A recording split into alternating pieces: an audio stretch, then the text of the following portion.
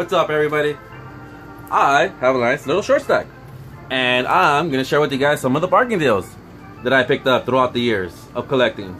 And one thing I like doing in my channel a lot is sharing with you guys what I paid for some of these cards.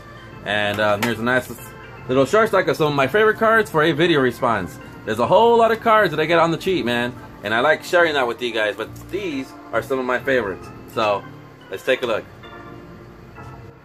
Alright, here's some bargain deals. Small little short stock I'm to share with you guys. Um, this is a video response from Mr. Reindeer Studios. If you're unfamiliar with his channel, check this out. Bam!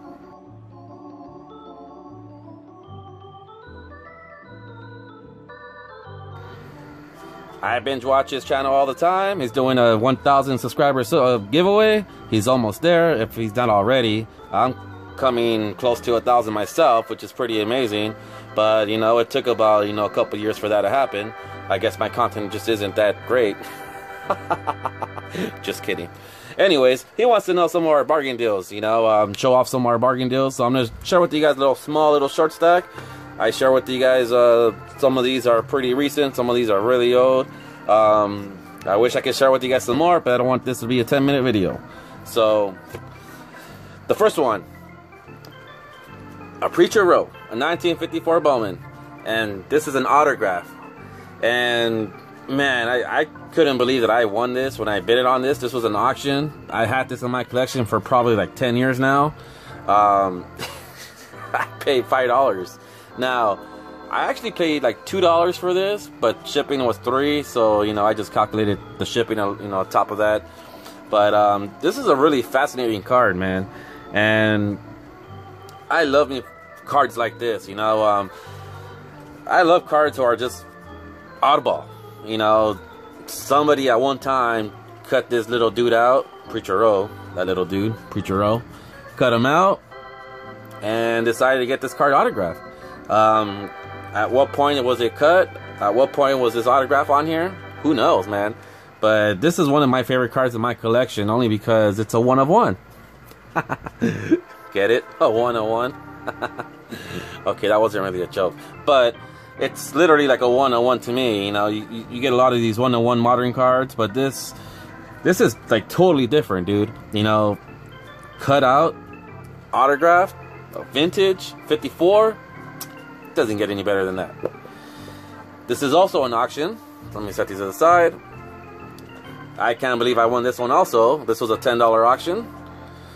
Yep, $10 for this Marty Marion autograph. That's a pretty cool deal.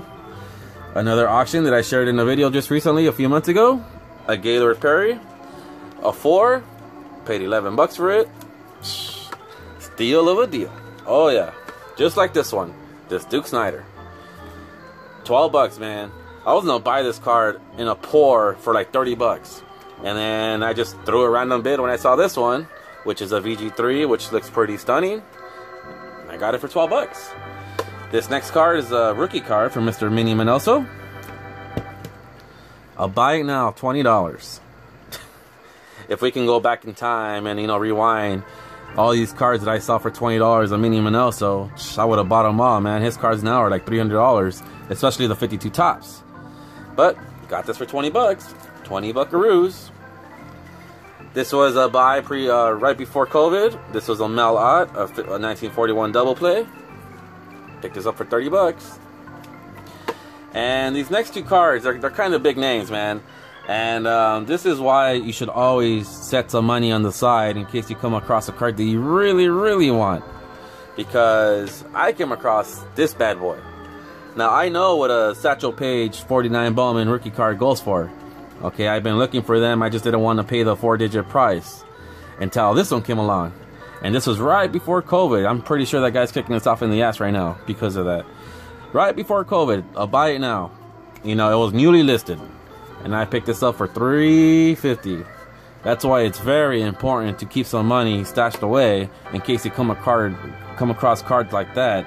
And my next card, which is the finale, the same concept with this one.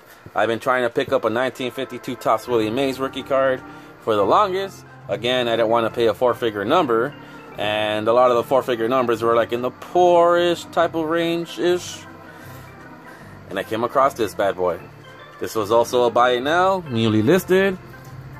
This was 765 and when I saw this, you know, I went poopies in my panties, and I pulled the trigger on this. I had to, you know, because I was not going to get a better looking card of a Willie Mays 52 Topps for this price. And this card now is three times as much of what I paid for it. It's really crazy. So here's a quick little showcase uh, for a video response from Mr. Reindeer Studios. So Hope you guys all enjoyed this. Um, I do have a Dodger game today. I know I made a video that, about my last game, but I actually paid for those tickets. The game I'm going tonight, I didn't pay for those tickets. And I'm pretty excited because I'm sitting right behind home plate. Oh yeah, free tickets behind home plate. So you may see me on TV, you may not. I don't know. If I see, if you guys see me on TV, I'll, I'll do a little DX suck it, suck it on TV. If I'm able to, to. So, quick little video response. I'll catch you guys all on the next one. See you guys all later. Toodles. Cool. Satchel Paige. Looking all mad.